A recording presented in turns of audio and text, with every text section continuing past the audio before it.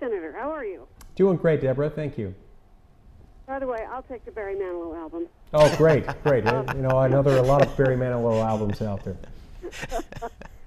you know, most of us just in our little houses across the country feel like we're so impotent when it comes to the government. And we look at people like you and Ted Cruz and just a handful of others who know the Constitution and love it like we do.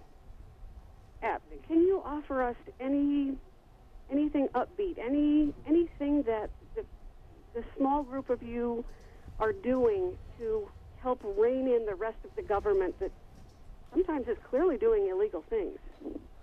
Sure. You know, Deborah, uh, there are a lot of people who share your concern about our, our government, and I'm happy to offer a few words of encouragement here. I'm a strong believer in the fact that even though we've got our challenges, and even though there are a lot of things wrong with our federal government right now, I still firmly believe that our best days may well remain yet ahead of us.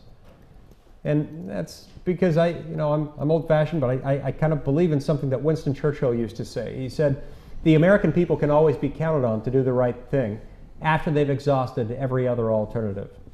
And you know, we've spent decades now, seven or eight decades, experimenting with all kinds of things in government that aren't exactly within the text and the structure and the spirit and the letter of the Constitution. It's time to turn that around now.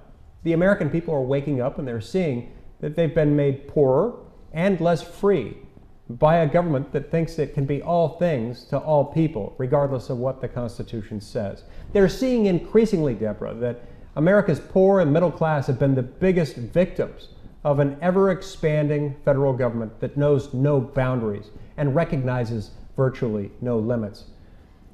I also remember something that George Washington said in the fall of 1787 after the Constitution had been drafted but prior to its ratification.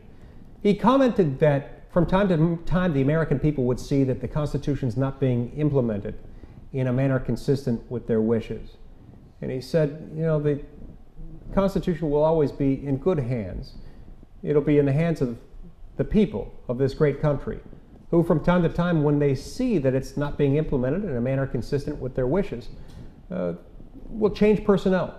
They'll fire the existing president, the senators, and the congressmen. They'll replace them with new people, different people, who will serve them better and interpret the Constitution in a way that's consistent with how they'd interpret it.